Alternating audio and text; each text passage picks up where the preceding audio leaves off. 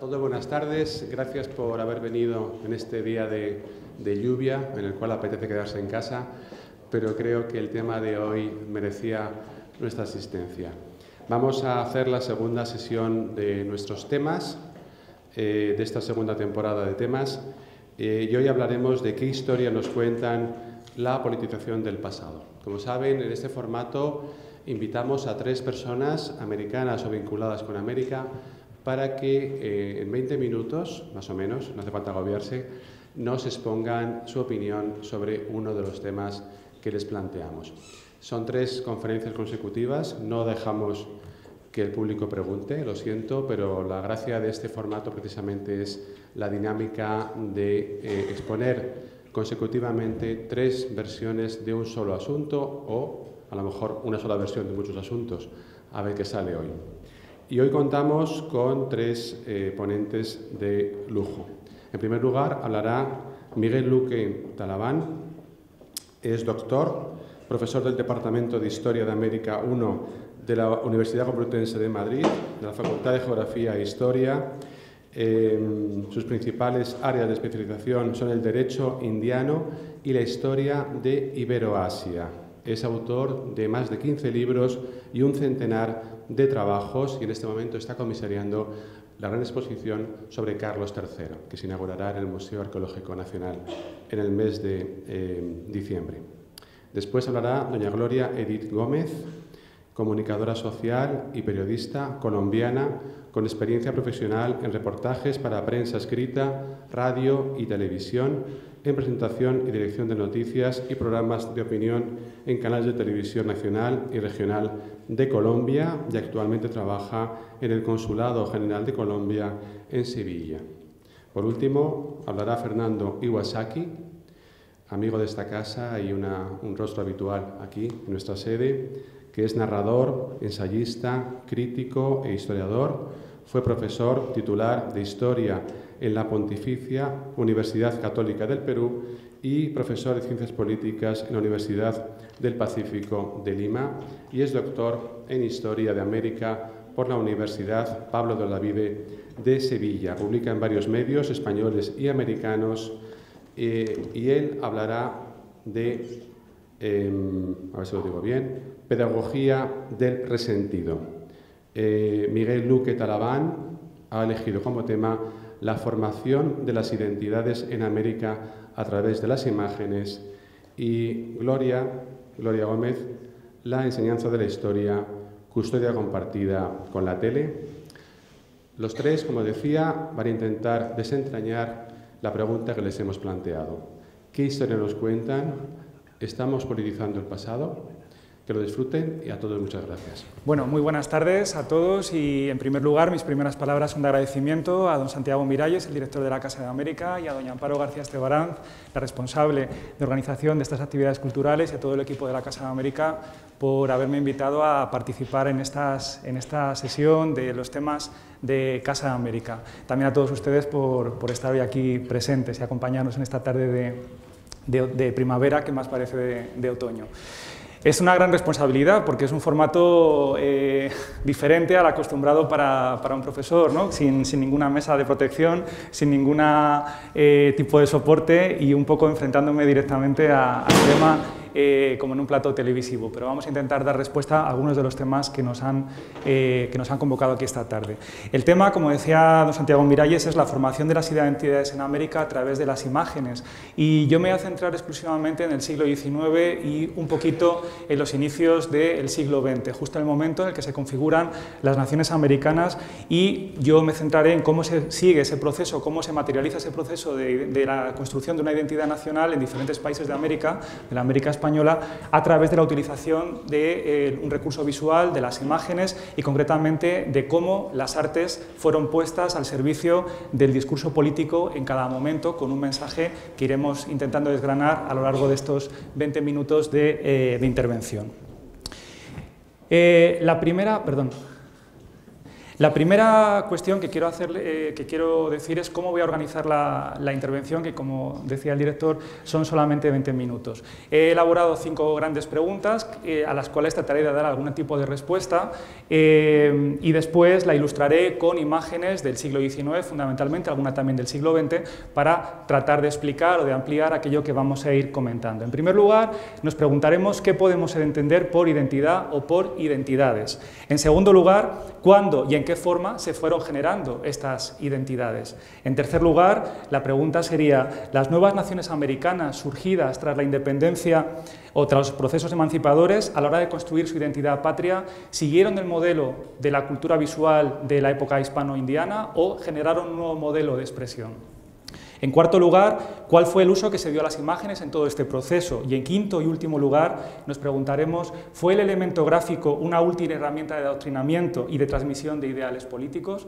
Pues eh, son sin duda muchas preguntas para un corto espacio de tiempo, pero mi idea también es no tanto responder como generar inquietud y generar nuevas preguntas al hilo de las que yo acabo de desbozar. Comencemos, por tanto, a ofrecer algunas, de, eh, algunas posibles eh, respuestas sin, sin antes no sin antes decir que a lo largo de la historia, no solamente en el siglo XIX en América, sino también, como veremos al final de la intervención, en la España del siglo XIX y en muchas otras culturas a lo largo de la historia, la imagen siempre ha sido puesta al servicio de la transmisión de los imágenes, del, perdón, de los ideales concretos, ¿no? ideales políticos, ideales religiosos, ideales culturales y los poderosos, los que tenían el control de la fabricación de estas imágenes o de la producción de estas imágenes, lo tuvieron siempre muy presente y supieron utilizar muy bien y siguen sabiendo utilizar muy bien este este, recurso. ¿no? Comenzando con la primera pregunta, ¿qué podemos entender por identidad o por identidades? Las posibilidades serían múltiples, nos harían falta no una sesión de 20 minutos, sino muchas sesiones de 20 minutos para tratar de explicar o de definir qué entendemos por identidad. Nosotros solamente nos vamos a quedar con una de sus posibles acepciones, que es la identidad político-cultural, aquella que define eh, o individualiza a un grupo humano que se quiere distinguir de otros, lo mismo que vamos a ver en el caso eh, americano. En este sentido, ¿cuándo y en qué forma se fueron generando estas identidades? Y aquí es un proceso eh, muy interesante que surge en el momento en el que las nuevas naciones independientes americanas comienzan su andadura ya como eso, como nuevas naciones eh, independientes y procuran dotarse en ese momento, a principios del siglo XIX, de un conjunto de elementos que les diferencien del país o de la nación, en este caso España, de la cual se acaban de, eh, de independizar. Todas las naciones van a comenzar una andadura en la búsqueda de símbolos patrios de una nueva identidad que les diferencie. Y en este sentido, la nación americana que justifica su independencia lo hace eh, no desde una nacionalidad, entendiendo esta como un elemento diferenciador, sino lo hace buscando la diferencia con aquel que es igual. Me explico, dicho de otra manera. Eh, ellos independizan, los, que los artífices de la independencia, los principales artífices de la independencia son criollos, por lo tanto tienen muy poco que diferenciarse de los eh, realistas que están luchando contra ellos. Tienen un mismo pasado étnico, tienen una misma religión, un mismo, una misma lengua, una misma historia o muy parecida y por lo tanto lo que van a tratar las nuevas naciones es de buscar elementos que les diferencien de aquellos con los que están luchando y que son en base, eh, básicamente exactamente iguales que, que ellos. ¿no? Así enfocado el problema de la América hispana fue como a partir de una misma nacionalidad, como ya han dicho reconocidos especialistas en esta cuestión, construir naciones diferentes. En este sentido, los héroes, las banderas, los himnos, los escudos nacionales, la mitificación de ciertos pasajes de la historia, la mitificación también del pasado prehispánico en aquellos países en los que era posible reivindicarlo, porque había un rico pasado prehispánico, fueron elementos que se conjugaron para hacer posible esta eh, fabricación o esta construcción de la identidad nacional.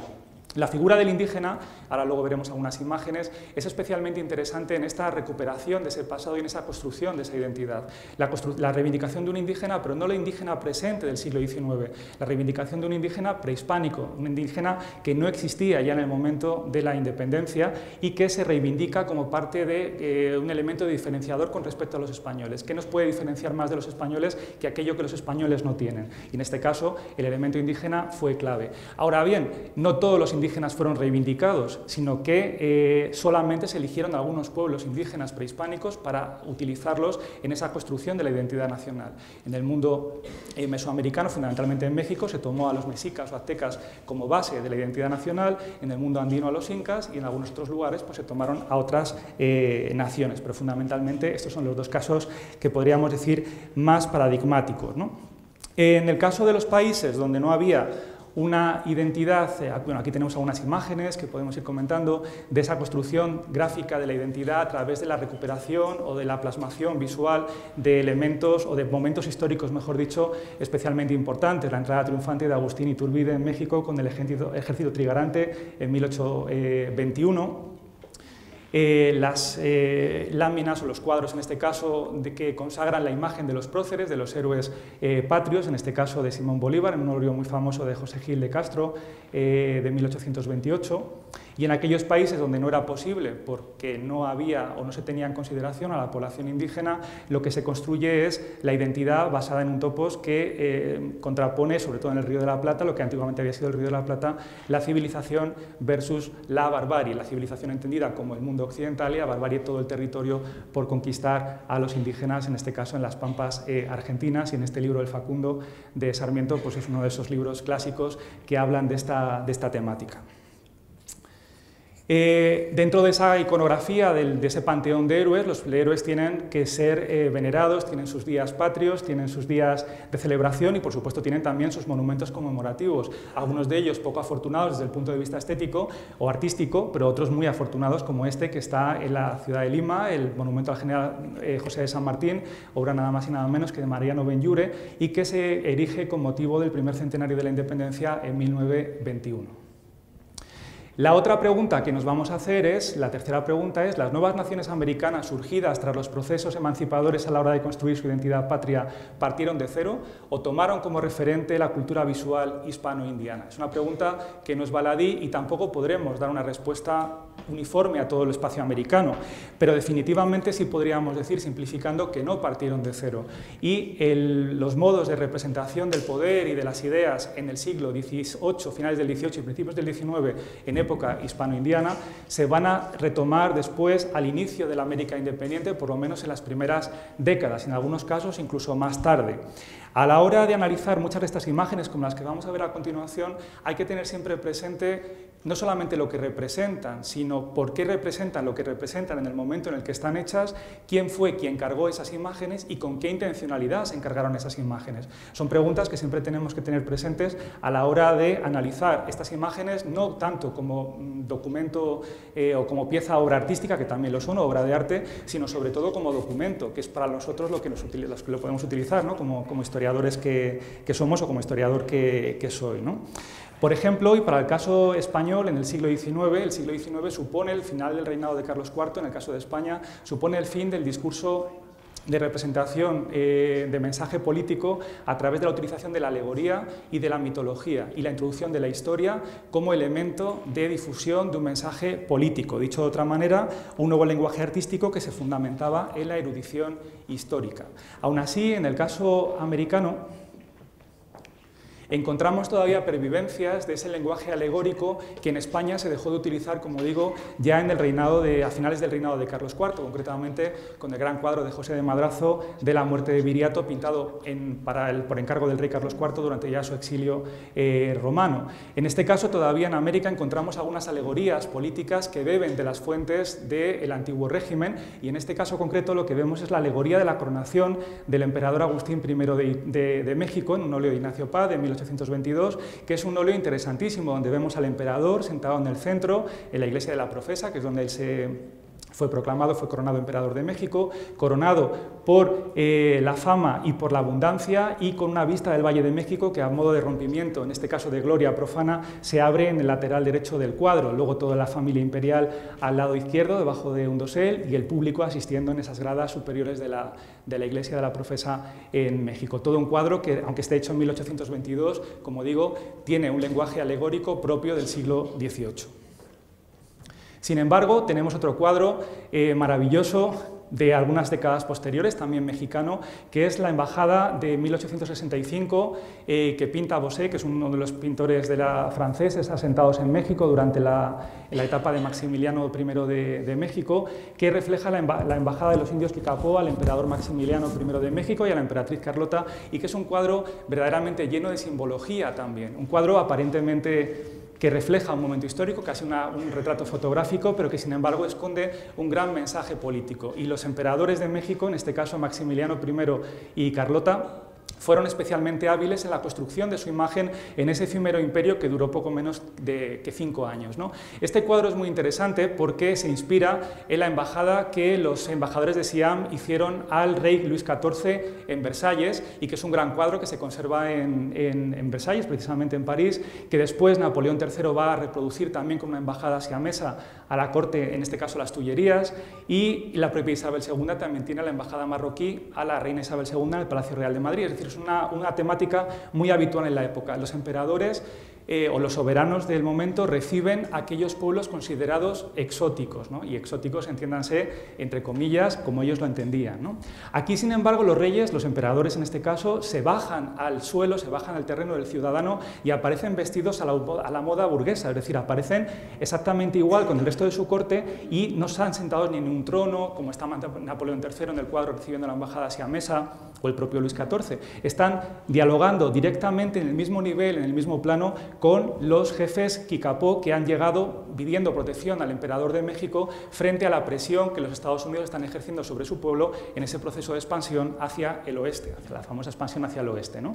Los indígenas Kikapó, los indios Kikapó, están en este momento siendo recibidos por el emperador que pide, a los que pide ayuda y como digo, el jefe Kikapo, que es el primero que está en, primera fila frente al emperador, está en igualdad, está exactamente equiparado en el cuadro al emperador. Es una idea de, promovida por el propio emperador Maximiliano que reivindica también el pasado de México, el pasado prehispánico de México. Pero no olvidemos no solamente la escena, que podríamos decir mucho más, pero por tiempo no, no, quiero, no quiero extenderme.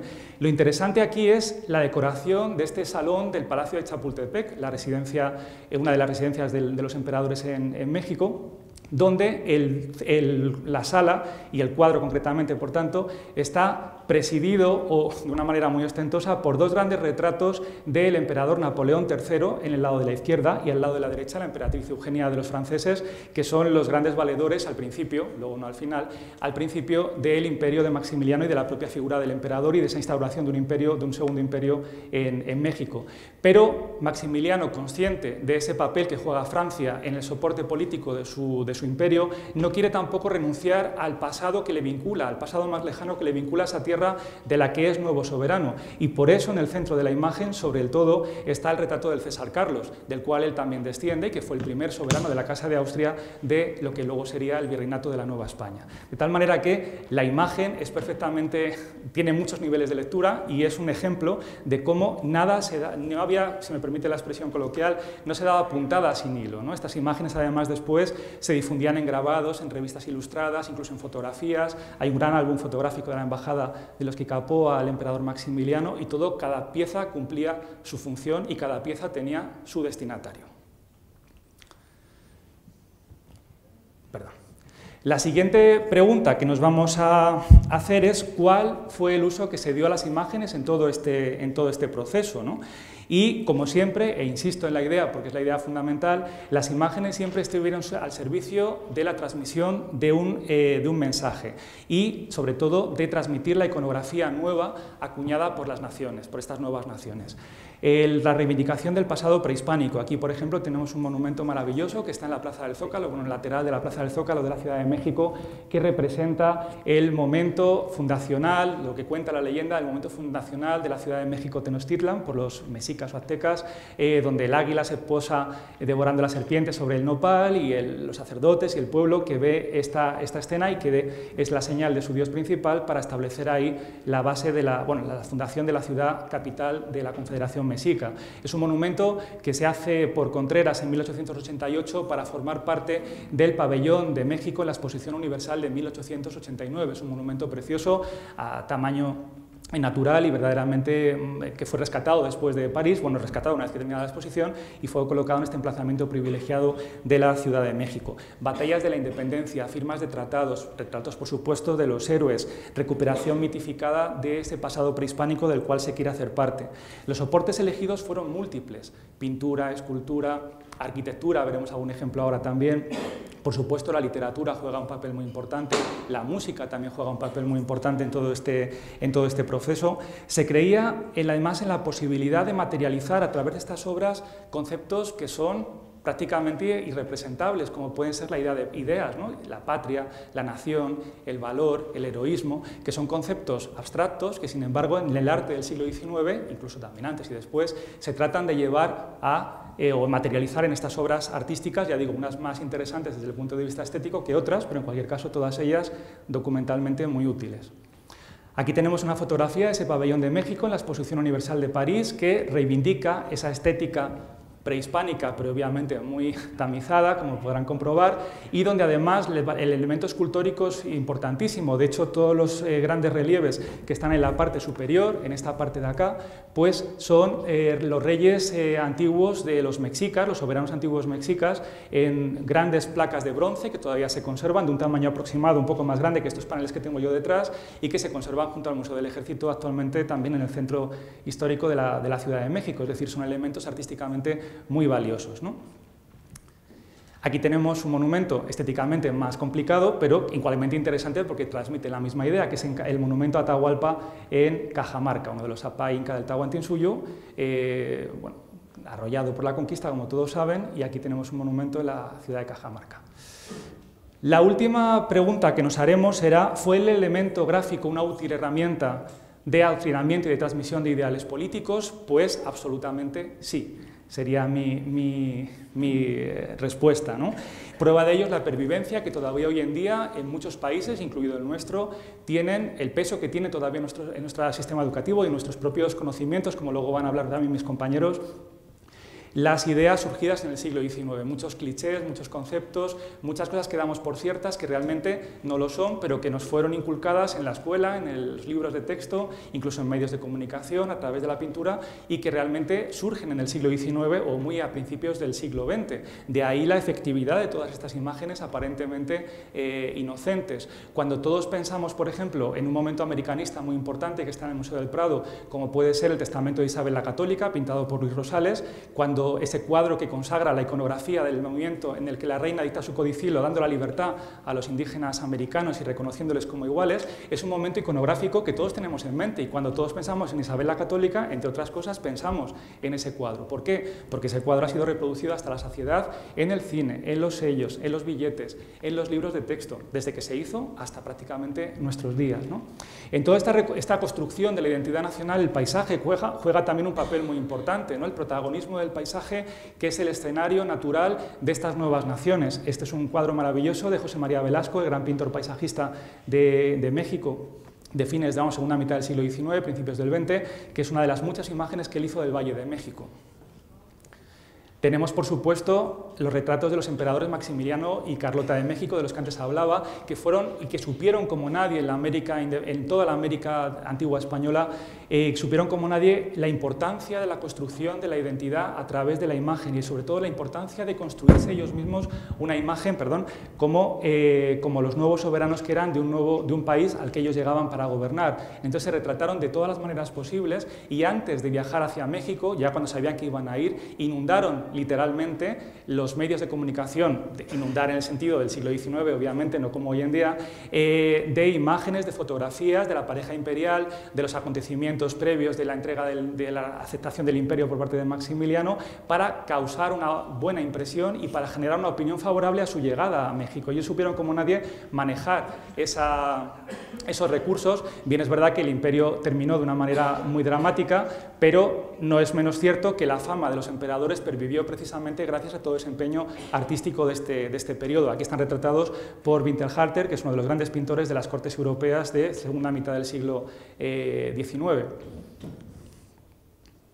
y, por supuesto, otro cuadro, estoy ya fuera de tiempo, pido excusas un minuto más, eh, el cuadro políticamente hablando más impactante también de este que, que narra también un periodo, un momento histórico muy dramático, el fin del imperio, el fusilamiento del emperador Maximiliano con los generales Miramón y Mejía, un cuadro pintado por, por Manet y que fue prohibido en Europa. Fue prohibido en Europa porque Manet cuando pinta este retrato lo que está retratando es eh, la, la, locura de la intervención francesa o la, el despropósito de la intervención francesa, o lo que él considera un despropósito de la intervención francesa en, eh, en apoyo a esa empresa política que fue el Segundo Imperio eh, Mexicano. Y esta obra, que es, una, es un documento histórico que refleja un momento histórico concreto, pero que al mismo tiempo es una denuncia contra la intervención francesa, tuvo como consecuencia que en Francia Napoleón III prohibiese su difusión en cualquier medio, eh, en cualquier publicación y por supuesto el Imperio Austrohúngaro también, porque para ambos era un fracaso y desde luego hubiera sido un revulsivo en contra de los regímenes de estos dos países, de estos dos imperios, de haberse, de haberse visto. ¿no? La noticia trató de ser silenciada en la medida de lo que pudo ser, ¿no? porque también se conoció, pero esta imagen estuvo prohibida durante muchísimo tiempo. ¿no? Imágenes promovidas e imágenes prohibidas, que sería, que sería otro tema. Y finalmente, eh, aquí tenemos otro, con esto cerramos, el Palacio de Bellas Artes, que aunque fue inaugurado en 1934 en la Ciudad de México, es una obra iniciativa del general Porfirio Díaz y con motivo también de la transformación de la ciudad a un estilo europeo, más francés, incluso italianizante en algunos casos, de la ciudad con motivo del primer centenario de la independencia eh, de México. Sirvan estos apuntes, por tanto, para señalar la importancia del estudio de un tema y de una época en el cual las imágenes servían para el combate tanto como las palabras. Un proceso, el americano, del que no fuimos ajenos tampoco nosotros en España durante el siglo XIX. Estos breves apuntes, estas breves ideas, los podríamos dar prácticamente igual como un espejo para el caso español durante gran parte del siglo XIX, donde también construimos nuestra propia identidad a través de la utilización, sobre todo, de la pintura de historia. Muchas gracias. Muchas gracias a Casa de América por esta invitación, a ustedes por estar aquí dispuestos a, escucharnos esta noche y es un honor estar en medio de estos dos académicos impresionantes a los que admiro muchísimo además. Pues vamos a hablar de un tema, yo no soy historiadora, por supuesto, y de lo que sé un poco es de los medios de comunicación y, de eso les voy a hablar. Vamos a ver cómo enganchamos esta historia. Qué difícil es en tiempos modernos enseñar, ¿no? En estos tiempos cuando los chicos, los jóvenes, los estudiantes tienen tantos pretextos para distraerse, tienen tantas posibilidades de información y pueden encontrar tantas formas distintas eh, y quizás más sencillas de enfocar su energía y de invertir su tiempo que el estudio juicioso y consciente de una asignatura, ¿no? lo que exige estudiar una asignatura. Pero quizás hay tantas formas que ellos tienen ahora, hay tantos pretextos para evadirse de esa responsabilidad que la tarea de los profesores, de los maestros, se hace cada vez un poco más cuesta arriba. ¿no? Y qué difícil es para esas materias que hacen parte de las ciencias sociales, competir con esas otras materias que tradicionalmente hemos considerado más relevantes, más útiles para la vida, ¿no? Esto lo digo entre comillas, por supuesto yo soy de ciencias sociales, no lo veo de esa manera, pero qué difícil es para una materia como la historia, por ejemplo, competir con las matemáticas y con las ciencias. Entonces, para que organicemos estos 20 minutos que se van volando, ¿no, Miguel? Para que organicemos estos 20 minutos, vamos a hablar rápidamente de las dificultades de la enseñanza de la historia en tiempos modernos, en condiciones normales y en condiciones extraordinarias. Ahora verán por qué. Luego hablaremos de la televisión y ustedes se preguntarán, ¿y qué tiene que hacer la tele entre este asunto de la enseñanza de la historia? Está más relacionada de lo que ustedes quieran y de lo que ustedes creen. Y lo más importante, al final vamos a ver qué lección sacamos de esta relación tan controvertida y tan curiosa entre la televisión y la enseñanza de la historia. Todavía no me pueden empezar a crucificar los puristas, que yo sé que hay muchos que están furiosos con que la televisión meta mano en la historia, pero vamos a ver que esto tiene ventajas y desventajas. ¿Qué pasa con la historia? ¿Cómo es posible que una materia cuya base, cuya materia prima es el relato como tal, pueda ser considerada por muchas personas como un simple trámite o en el peor de los casos como un relleno? Porque eso es lo que para muchos estudiantes a veces es la historia, algo por lo que tienen que pasar, ¿no? Un año tras otro en el colegio o en el instituto. Pero es muy curioso porque la historia, como les digo, la base de la historia es el relato. No se puede concebir un pueblo sin historia, pero tampoco se puede concebir una historia sin narración. Y la narración puede ser eh, textual, puede ser oral, puede ser visual o puede ser audiovisual. También es válido. Pues vamos allá entonces. ¿Qué pasa con la historia? ¿Qué pasa con la enseñanza de la historia? ¿Qué pasa cuando un estudiante va mal en matemáticas?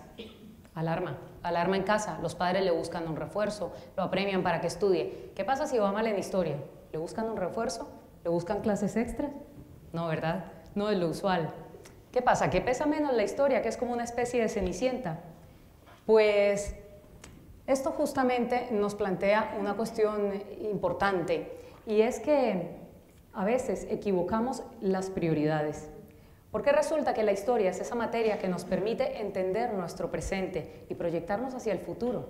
Claro, somos lo que traemos a cuestas, lo que nos ha acompañado durante mucho tiempo, el bagaje, la historia que han construido otros seres humanos como nosotros y la que después se contará sobre nosotros mismos. Somos parte de la historia, con lo cual no tiene ningún sentido que la historia sea una especie de cenicienta.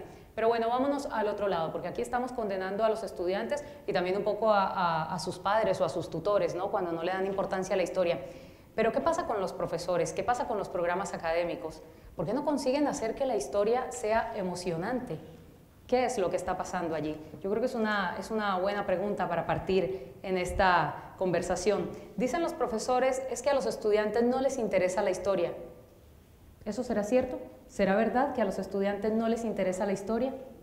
¿No será que la historia está mal contada? Quizás está mal contada o está mal presentada, quizás no engancha, ¿verdad?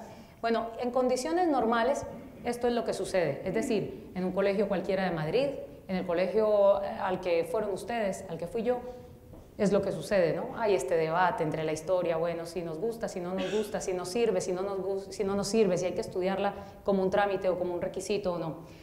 Pero ¿qué pasa cuando las cosas van cuesta arriba? Es decir, cuando hay un lugar de condiciones extraordinarias, de condiciones especiales. Y cuando digo extraordinarias no me refiero a lo bueno, sino justamente a extraordinarias por lo malo, por lo distinto y por lo malo. Quiero presentarles aquí, si me lo permiten, un, un video, eh, no, un video, unos segundos de video, de un reportaje eh, del año 2010 realizado en Toribío. Toribío les voy a contar, les pongo un poco en situación. Toribío es un pequeño pueblo habitado en un 97% por indígenas paeses y tunibíos. Esto está en Colombia, en el departamento del Cauca, suroeste del país.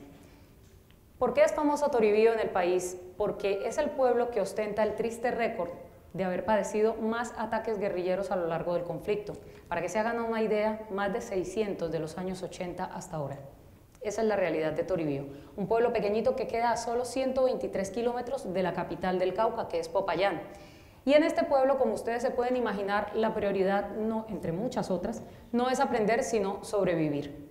Entonces, las escuelas del lugar han tenido que incluir en su pensum, en su programa académico, una materia muy particular, simulacro de evacuación en caso de ataque guerrillero.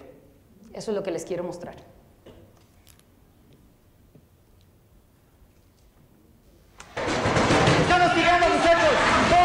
Vamos, protéjanse, protéjanse.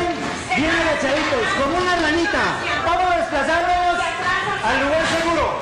Vamos desplazándonos. Vamos desplazándonos. Tranquilos, tranquilos. Obedientes se dirigen hacia el restaurante, su lugar seguro. Se alistan niños porque no nos vamos a quedar aquí. Vamos a salir de uno en uno agachado que empezamos a salir. Durante varias jornadas bajo el fuego aprendieron el gesto mecánico de proteger su rostro y su cabeza. Esto se hace todos los días en, estos colegios, se hacía durante muchos años en estos colegios eh, de Toribío. Y es lo que ustedes acaban de ver, es, es una realidad.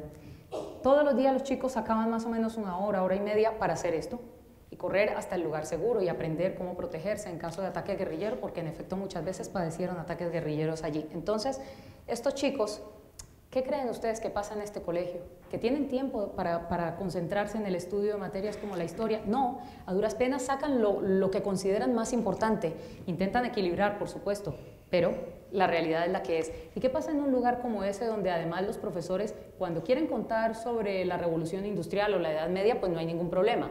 Pero si quieren hablar de la historia reciente de Colombia y tratar de explicar por qué los chicos viven esta guerra, qué pasa, qué nos ha traído hasta aquí, por qué estamos viviendo esto, eh, vienen los, los, líderes de la guerrilla, en fin, y les dicen, ustedes están diciendo algo inconveniente, están amenazados, total, no hay libertad para enseñar.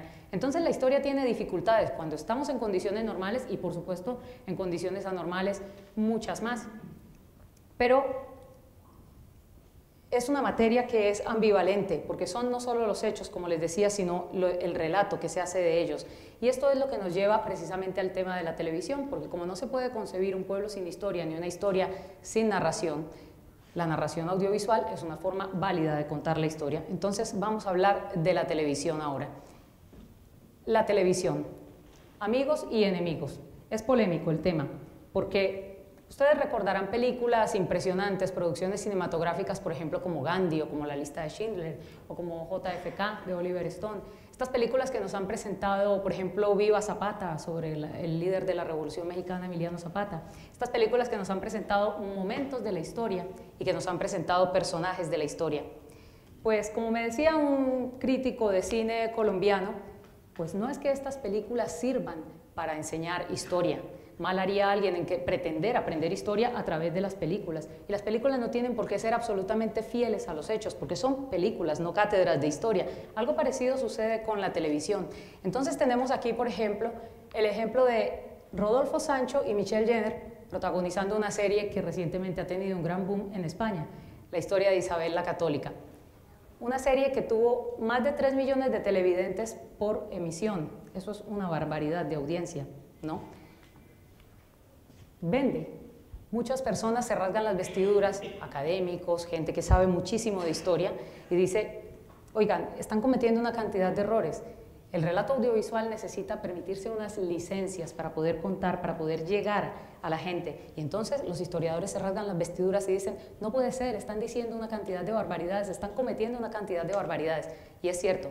Pero también hay otros académicos y no académicos que son un poco más benévolos y dicen, Sí, está bien, pero lo cierto es que han conseguido que una cantidad de gente se interese por un tema que a nadie importaba o que se había convertido en algo de la clase o de la conversación entre historiadores, en fin. Entonces, ahí hay a favor, puntos a favor y en contra, ¿no? En cuanto a las series de televisión. Tres millones de espectadores por capítulo, pero además todo lo que generó esto, una película de cine, La Corona Partida, un libro, Cantidad de turistas haciendo rutas por España siguiendo las huellas de Isabel la Católica, grabación en escenarios reales de toda España. Bueno, un tema de, Internet, de una página de Internet que se ha hecho muy completa, en la que además los historiadores asesores de, esta serie pues contaban un poco, bueno, aquí ha habido un gazapo, pero esto es así, esto en la realidad fue así o así, lo tuvimos que cambiar de esta y de otra manera. En fin, todo un movimiento y sobre todo una cantidad de televidentes viendo la serie y comentándola en tiempo real a través de las redes sociales y de Twitter y de chats con los actores de la serie, eh, comentándola allí en tiempo real, hablando de historia. Entonces estamos consiguiendo que la gente se interese por la historia. ¿Quién es este? Carlos V. ¿Quién es este? Carlos V. Álvaro Cerdán, el actor allí con su pelo perfecto y su sonrisa de diseño, que no se le ve en esta foto, pero que ustedes saben que es una sonrisa perfecta. Y probablemente mucha gente en la calle, si le pones esta fotografía, no saben quién es, pero si le pones esta, inmediatamente dirán, así ah, ese es Carlos V. Entonces ahí está el poder de los medios y ahí está el poder de la televisión, ¿no? Pero ¿qué pasa cuando la televisión, en el intento por presentar un hecho histórico, un momento de la historia, se le van un poco las luces, como decimos en mi país, y acaba convirtiendo a un personaje, tergiversándolo completamente y convirtiendo, por ejemplo, a un villano en héroe. El personaje de la izquierda, como seguramente muchos de ustedes saben, es Pablo Escobar Gaviria, el narcoterrorista con el que en Colombia tuvimos que convivir, padecer durante dos décadas espantosas entre los años 80 y 90. El personaje de la derecha es Andrés Parra, el actor colombiano que representó a Pablo Escobar en una producción impresionante que Caracol Televisión puso en marcha entre el año 2009 y 2012, que arrancó con un índice de audiencia extraordinario, el más grande que haya tenido cualquier producción colombiana, una producción que fue vendida a un montón de países y que ellos hicieron diciendo queremos hacer un homenaje a las víctimas, queremos que además que las nuevas generaciones conozcan un poco de esa historia que vivió Colombia y la entiendan y en fin. Pero ¿qué consiguieron? Aquí hubo mucha polémica, porque resulta que para los adultos o quienes habíamos vivido los años eh, de la guerra contra el narcotráfico, pues bueno, estábamos allí reviviendo hechos, en fin, pero para los jovencitos, las nuevas generaciones, los que no habían conocido a Pablo Escobar, ¿qué se encontraron? Sobre todo estos chicos de los barrios más pobres de ciudades como Medellín y Cali, se encontraron con un personaje que era presentado casi como uno de ellos, alguien muy pobre y sin recursos que de repente a punta de ingenio y de valentía, entre comillas, logra llegar a lo más alto hasta convertirse en Dios. Entonces ahí un efecto no solo no deseado, sino que diría yo hasta peligroso, ¿no? en el caso de la historia. Isabel la Católica, lo que les decía, probablemente en la calle la gente más fácil reconoce a Michelle Jenner y la relaciona con Isabel la Católica que a este personaje, además porque los actores, parte de los trucos del rating, estas series viven bajo la tiranía del rating, de las audiencias, y yo creo que un director, con tal de conseguir 100 espectadores, telespectadores más, es capaz de poner, yo que sé, a Cristóbal Colón buscando las Indias con GPS y entonces, por lo tanto, hay que poner actores y actrices muy guapos, que parece ser que, miren ustedes qué curioso, nos llama más la atención verlos así que así. Vamos a hablar de un caso muy curioso en Colombia, de un caso que tiene que ver, esto sucedió en 1979, fíjense ustedes, piensen en una Colombia que era en ese entonces todavía intentaba salir del analfabetismo, mucha parte de su población, estábamos estrenando esa aventura de la televisión a color. Y Producciones Eduardo Lemetre presenta un seriado que se llama Revivamos nuestra historia y esto era en horario triple A, estelar, todos los domingos a las 8 de la noche, ustedes saben, no sé si lo saben, pero en mi país cenamos temprano. Entonces a la hora de la cena estaba la familia colombiana viendo Revivamos nuestra historia. ¿Qué tuvo de especial esta serie? Que empezó a valerse de capítulos de la historia y generó un movimiento enorme en torno a ella. Quizás uno de los más exitosos fue precisamente el de Bolívar. Este era el Bolívar que teníamos nosotros en nuestros libros de estudio, ¿no? Y este era Pedro Montoya, el actor que representó a Simón Bolívar. Esto fue cerca de la conmemoración de los 150 años de la muerte del Libertador se presentó la serie Bolívar, el hombre de las dificultades. 40 capítulos, más de 190 actores en escena, 700 extra, 800 soldados del ejército colombiano participando allí en la serie. Y Pedro Montoya, que se convirtió en una figura con un peso tan grande en Colombia que, esto no lo digo yo, lo cuentan los archivos, los políticos se lo llevaban vestido de Simón Bolívar para hacer campaña, coronaba reinas de belleza y los campesinos le pedían consejo por los caminos y los campos. Esto es un poco como decimos en mi país, rompió la cinta y siguió corriendo. Pero bueno, también eso hace parte ya del colorido de mi país, queda para mucho. Pero lo cierto es que para muchos de nosotros, los que veíamos en ese entonces esta serie, Pedro Montoya era Simón Bolívar, ya está. Pedro Montoya perdió su identidad, es decir, mucha gente incluso comentaba que él mismo en su tiempo libre, cuando no estaba actuando, actuaba y hablaba como Simón Bolívar. Bueno, eso ya es parte de la leyenda.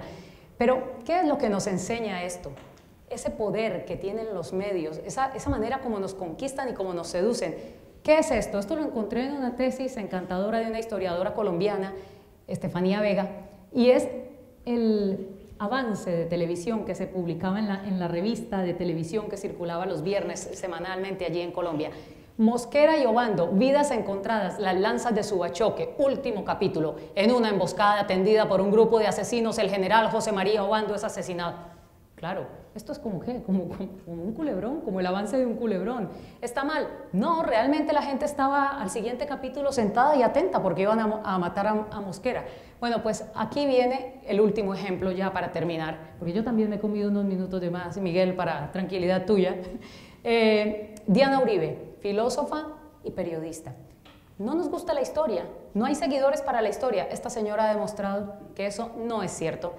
Ella empezó siendo comentarista, analista internacional de programas de radio.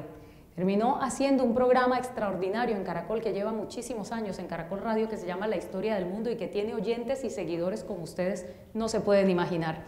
Esta mujer, ¿qué tiene ella de particular? Que cuenta la historia tal, con tal tranquilidad, como si conversáramos tú y yo, como si estuviéramos sentados en una cafetería contándonos la historia de alguien, que es como se debería contar la historia. Entonces, ¿cuál es la lección que aprendemos de todo esto? ¿Cuál es la gran conclusión?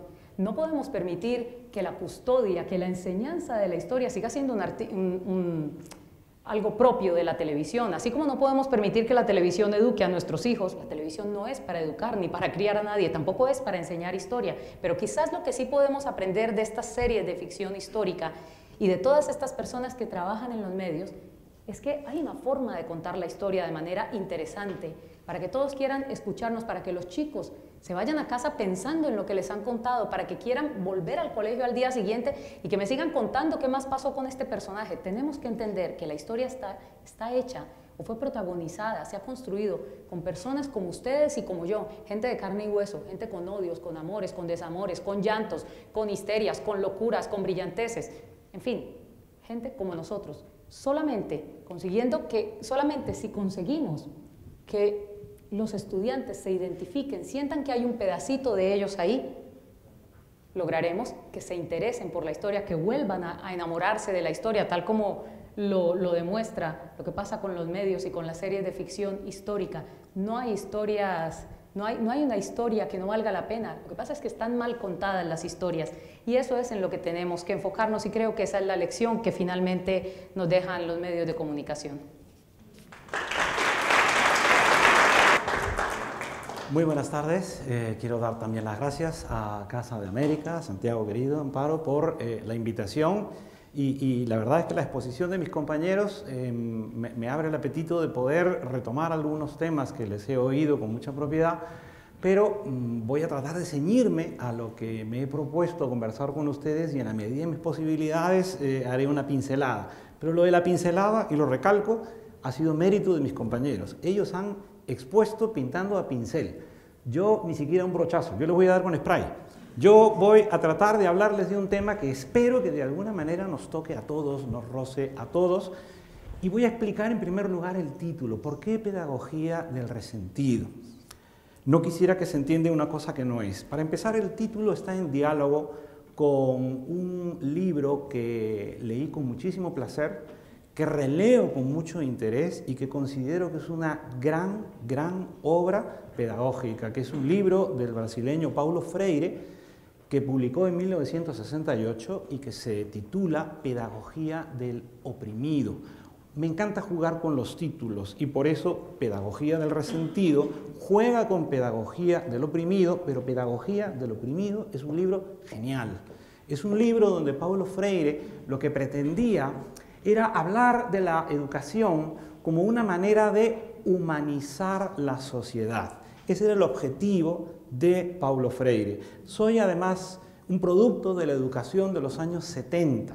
Es decir, a mí cuando iba a la escuela, cuando iba a la secundaria, me hablaban constantemente de la necesidad de tener conciencia crítica. Esta idea de la conciencia crítica estaba en los libros de Paulo Freire. Paulo Freire decía que para poder alcanzar esa humanización era imprescindible pasar de la conciencia mágica a la conciencia ingenua y de la conciencia ingenua a la conciencia crítica. Una conciencia crítica era aquella que entronizaba en el educando la mirada verdaderamente crítica sobre su situación y las necesidades de su sociedad. Esa fue la pedagogía del oprimido de Paulo Freire y ese es un libro que me encantaría que se siguiera leyendo.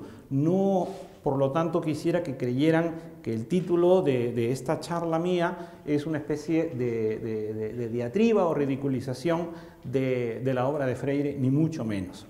A mí lo que me interesa es hablar de la relación de la educación con la ética para tratar de hacer a partir de allí una reflexión que nos interese a todos como ciudadanos de una cultura hispánica. Es decir, que no voy a decir algo que crea que solamente es exclusivo del Perú, sino que vivo en Andalucía hace 30 años, creo que hay muchas cosas de las que voy a decir ahora que también podrían ser de interés para un ciudadano español. ¿Cuál es la obra que en términos eh, bibliográficos para mí es la más importante en, materia pedagógica? Es un clásico de, de la filosofía griega, es La Paideia de Jager, un libro sólido, inmenso, que está publicado en, español por el Fondo de Cultura Económica. En la paideia de Jagger, que trata del mundo antiguo, del mundo ateniense, hay una frase que quiero leerles literalmente. Dice Jagger que el desarrollo social depende de la conciencia de los valores que rigen la vida humana. Esta es una frase que me sirve a mí para decir que, por desgracia, no todas las sociedades se rigen por valores Por desgracia, hay sociedades que se rigen sobre todo por disvalores o por antivalores. Y por lo tanto, cuando eso ocurre y aplicamos lo que decía Pablo Freire, una conciencia crítica, tenemos que analizar esto como el entomólogo que mira un bicho en el microscopio. Es decir, que si los valores que rigen una sociedad no son tales, ¿de qué estamos hablando? Y aquí es cuando yo creo que la reflexión que vamos a hacer nos concierne a todos. ¿Cuántas veces en nuestras familias, en nuestro entorno, se produce una ridiculización de las conductas ejemplares, de las conductas que deberían ser elogiables, de los comportamientos que deberían ser admirables? ¿Cuántas veces nos hemos burlado del que trabaja? Desde el colegio. A mí me sorprende mucho que en todos los países de habla hispana exista un equivalente de empollón. En el Perú es chancón. Y seguramente que si repasamos por varios países, todos terminarán en un, que ya es una manera de, darles, de darles a estos personajes. A mí me llama muchísimo la atención que en nuestra cultura hispánica el mínimo esfuerzo esté bien visto. Me llama la atención que en nuestra cultura hispánica la mediocridad sea tan tolerable me llama la atención que en nuestra cultura hispánica el éxito sea siempre motivo de sospecha. Me llama la atención que en nuestra cultura hispánica aquellos que sobresalen y destacan tienen que inmediatamente dar 80.000 explicaciones para poder de alguna manera demostrar que es por méritos propios y no porque hay una influencia ajena, no porque hay un trato de favor y no porque hay algún tipo de pasteleo que les permite destacar. Esto ocurre no en los grandes escenarios ya de la política y de la empresa, ocurre en las escuelas. ¿Cuántos niños llegan a casa diciendo, papá, mamá, yo no quiero tener buenas notas, porque quiero tener amigos. Yo no quiero ser amigo de los profesores, quiero tener amigos entre mis compañeros. Creo que esta es una situación muy cotidiana, pero muy cotidiana no solamente en mi país, el Perú, creo que es muy cotidiana en muchos más lugares del ámbito hispano del que nosotros deberíamos aceptar. Es decir, que los disvalores, los antivalores, son los que permiten, contra lo que quería Paulo Freire, que nuestra sociedad se deshumanice. ¿Cómo se deshumaniza? Con la discriminación. ¿Cómo se deshumaniza? Con el racismo. ¿Cómo se deshumaniza? Con la marginación con todos los abusos que de alguna manera adquieren incluso carta de ciudad. Cuando en la primera conferencia Miguel nos hablaba de la construcción de las identidades y cómo la figura de los indígenas era utilizada, por supuesto iconográficamente, yo sé que le habría encantado referirse a la forma como en nuestros países se cobraba el tributo indígena. Había ciudadanos, había seres humanos que tenían que pagar una cantidad al Estado por haber nacido indios. Y ha habido países en la América hispánica donde ha habido incluso guerras contra las poblaciones indígenas que han sido exterminadas. Entonces, eso es deshumanización. No hablar de eso es deshumanización y es fomentar esa marginación. Ustedes dirán, ¿hasta dónde estoy llegando? ¿En qué momento llegaré a lo de la pedagogía del, del resentido? Pues es muy sencillo. Yo primero tengo que explicarles que si nuestros hijos aprenden a tratar a sus compañeros de esta manera, pues obviamente por eso nuestros países, a sus países limítrofes, a sus comunidades autónomas limítrofes, las tratan de la manera que las tratan, a los ayuntamientos limítrofes. Es decir, pretendo hacer una reflexión que vaya a lo particular, a lo general. Esta sociedad en donde los antivalores se han consolidado es la sociedad que genera corrupción, es la sociedad que genera marginación, es la sociedad que genera desigualdad. Un gran historiador peruano que por cierto admiro y que por cierto considero un hombre eminente, se llama Pablo Macera, tiene un texto que también voy a leerles literalmente, publicado en un libro titulado Las furias y las penas, que salió en Lima en 1983. Esta es una frase que además no quisiera que quede adscrita solamente a la figura de don Pablo Macera. Quiero que sea el punto de partida de una reflexión mayor. Dice así, soy un resentido. El Perú es un país resentido. Las clases populares son clases sociales resentidas. El resentimiento es una fuente, según los filósofos, de formación negativa de una moral. Pero el resentimiento puede ser el fundamento de una formación positiva de una moral revolucionaria. Este es un país con agravios apagados, reflojados, detenidos, sin solución y sin venganza, y que deben ser vengados y resueltos. Esta frase del historiador peruano Pablo Macera, estoy seguro que podría tener validez en muchísimos países del ámbito hispánico. Probablemente hasta podría suscribirla alguien también aquí en España. La idea de que ese resentimiento debe ser una energía, debe ser una fuerza y que a partir de allí hay que corregir situaciones del presente, aunque tengamos que manipular el pasado. Y aquí es donde llegamos al tema yo preferiría una foto de Gloria, de Miguel, porque yo, yo, que no he traído, yo que no he traído imágenes, no soy tan moderno, pero bueno. ¿Por qué esta frase de Pablo Macera es una frase que quiero que me sirva de enganche para hablar de la historia? Porque cuando esta idea del resentimiento, por lo menos como constatación, llega a los programas de enseñanza de las escuelas o de las universidades, nos encontramos con una historia que explica el presente a través del victimismo, que escamotea la responsabilidad individual o colectiva de los pueblos para poder entender su situación presente, o que siempre atribuye a enemigos extranjeros sus desgracias y sus calamidades. Podríamos situarnos en cualquier época de la historia, y voy a comenzar con, con América Latina, en cualquier época de la historia latinoamericana, para empezar a analizar de qué manera siempre hemos encontrado enemigos en el extranjero.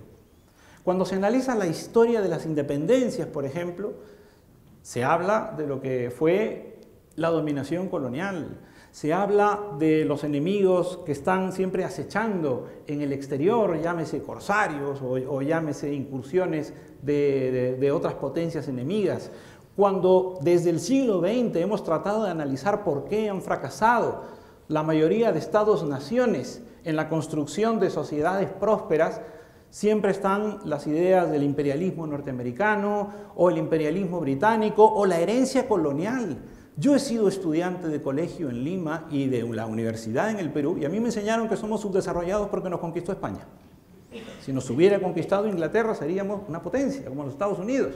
Claro, nadie nos decía que podíamos ser Nigeria, nadie nos decía que podíamos ser también un, país del centro de África. Pero esa era la manera como tanto desde la izquierda como desde la derecha se analizaba nuestro pasado.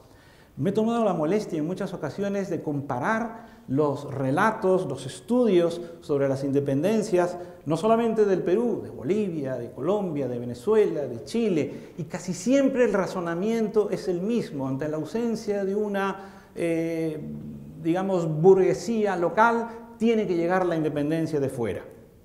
En el Perú yo lo comprendía perfectamente, pero cuando empecé a analizar qué pasaba con con los países vecinos era el mismo argumento, hasta con Venezuela y con Argentina, que lideran lo que son los procesos de independencia para todo el subcontinente, era la misma argumentación. Y cuando analizamos para el siglo XX todas las teorías eh, de la dependencia, es prácticamente el mismo esquema de argumentación. Y si hoy nos ponemos a analizar, los enemigos son pues, los banqueros, son los mercados, eh, son eh, las potencias extranjeras, jamás miramos nuestra situación. Jamás hablamos de nuestra propia corrupción, jamás hablamos de nuestra propia marginación, jamás hablamos de nuestra mediocridad, siempre estamos tratando de ver cuál es el ataque que nos viene desde otro lugar. Por esa razón es que a mí me parece que hablar de una pedagogía del resentido, debería servir para reflexionar sobre la forma como nosotros estamos interpretando nuestro presente, por casualidad, en un contexto de crisis, porque hoy en día tenemos una conciencia de la crisis, pero probablemente lo que no tenemos son las mismas lecturas de la crisis. Según el lugar en el que caiga la pregunta de hazme una interpretación sobre por qué estamos como estamos, casi siempre va a salir la figura victimista, la figura del enemigo exterior, la figura de que hay algo que escapa de, nuestras manos. Si se lo preguntamos a un peruano, a un boliviano, a un cubano, a un nicaragüense, o a un chileno, o a un argentino, cada uno desde su situación, no todos, pero habrá sectores muy representativos que apelarán a esta situación que estoy denominando pedagogía del resentido. Creo que es muy importante no que contemos una historia triunfalista, no que contemos una historia que se regodee, esto también es una cosa terrible, en un presunto esplendor del pasado, sino que tengamos una mirada crítica, como quería Pablo Freire, que analicemos nuestra historia con una perspectiva y que tratemos de encontrar en la trayectoria, en la conducta de nuestras propias sociedades, las explicaciones a nuestra situación presente. Si no nos formulamos preguntas reales, jamás podremos obtener respuestas rotundas, que de eso es de lo que se trata, de que nuestra historia nos dé las respuestas que necesitamos.